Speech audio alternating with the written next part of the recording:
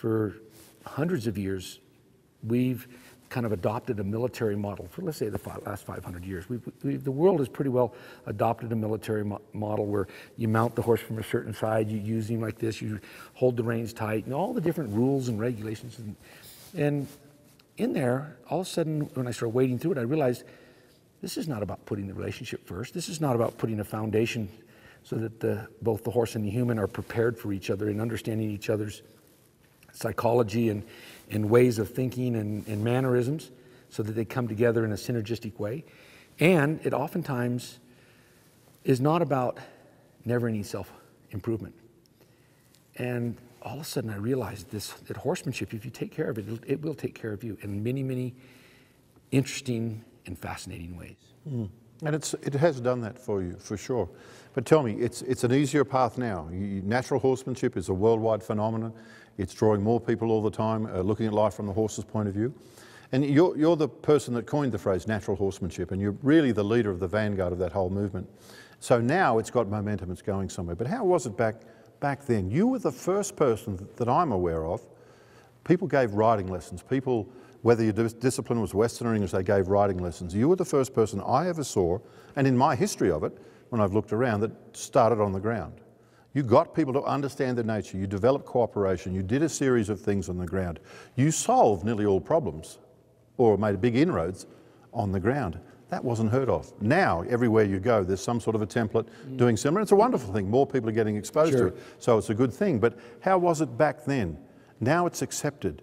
Back then, you were like a hippie horseman. Yeah, Tell I was just going to say, you, you took the words right out of my mouth. You know, a lot of people thought of me or thought of what I was doing as kind of hippie horsemanship. you know, I came up with the, the term natural horsemanship kind of incidentally because Linda and I were driving uh, from Sydney, Australia, down to Melbourne, and we were talking about things, and I kept saying, you know, I don't want to call this Parelli horsemanship or anything like that, and and uh, I said I want to I want to call this something kind of like in in uh, martial arts. You know, there's martial arts and then there's different veins of it, and I said, been, I'm really confused as to what to call what it is I do, and she goes, every other word out of your mouth is natural. Natural this, natural that. It's natural horsemanship. And it just hit me like that. And I went, that is what this is. It's a natural approach for both the horse and the human. Well, as soon as that word came into play, wow, did I mean I might as well have owned a, health food store mm-hmm. and worn sandals and Sure, a robe, you know. sure. And that's what it, it, that's where this kind of attachment to putting this word natural in front of the word horsemanship, and I, and I actually really think the word horsemanship has not been understood for you, for a long time, and I think it's been pretty close to extinct, to extinction, because the the this part of it, that foundation that both horses and humans need, in order to then, because let's just say we use the word training, that's the icing. Let's say race training, jump training, uh, dressage training, reining training, cutting horses, roping, rodeo, any all this stuff. That's like the icing that goes on, the, and, and it really fits well over the top of this horsemanship. So putting those two together, together is, I, I saw people really confused, and it was very controversial. This whole thing of playing Sure. with horses on the ground. Sure, absolutely. And I got I got a lot of lot of snickers, a lot of flack, a lot of skepticism. Was it tough? Was it, uh, you relatively young? You'd have been a young man back back then. It was, you know, really challenging tradition, Mm-hmm. and horsemanship is known for it. It doesn't change easily or, or rapidly. So it must have been a lot of pressure. I actually think I must thrive on it. So on, I think you're right. I think I must thrive on controversy because I remember being in, in, in high school in 1969.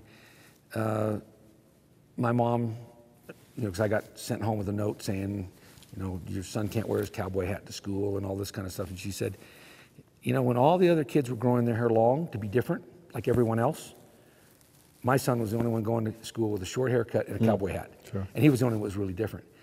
And I didn't do that to be different.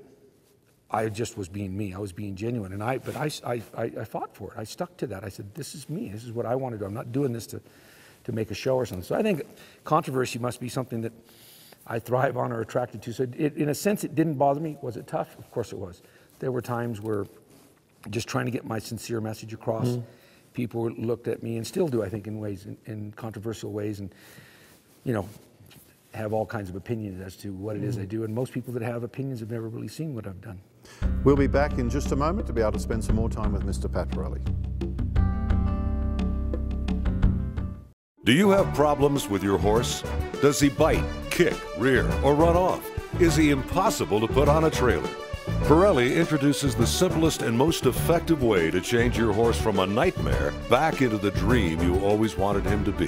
The new Get Started Solving Your Problems Naturally DVD has everything you need to learn how to turn your horse into your partner for life. Over the last 30 years, Parelli Natural Horsemanship has helped millions of horse lovers all over the world solve their problems with their horses. I've dedicated my life to helping horse people worldwide to become so good with horses that even the horse thinks they're brilliant.